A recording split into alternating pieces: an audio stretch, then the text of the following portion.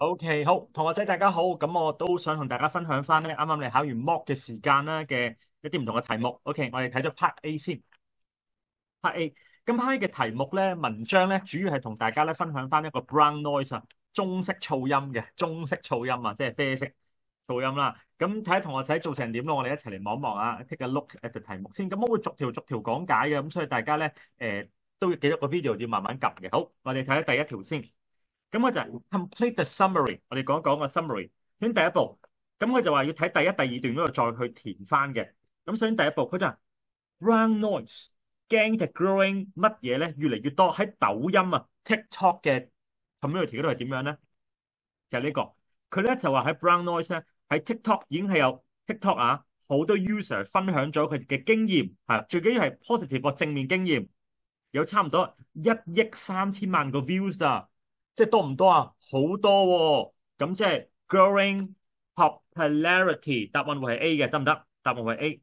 OK。第二個啦，brown noise 啡中式噪音 is to have function 有咩功能咧？改善到 sleeping quality，改善到啦睡眠嘅質素啦，同埋乜嘢 attention？我哋咧就會咩 attention 咧？一齊望望，佢就話咧能夠 improve 到第二段嗰度啊，improve 到 sleeping quality 同 better attention。better 即係好咗，好咗嘅話咧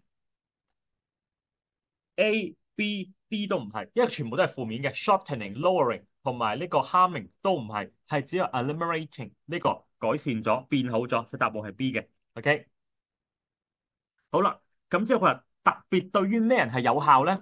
一齊望望咯，佢就話咧。對一佢係 particular with individual，尤其是有啲 attention deficit 係咪或者 hyperactivity disorder ADHD 啊，或者 newborn 都係。咁但係如果你淨係寫 newborn 咧，麻麻地，點解咧？其實如果真係兩個綜合嚟講揀嘅話，最好最好最好一定係呢一個嘅。OK，答案會係 D 嘅，係 D 嘅意思最準確。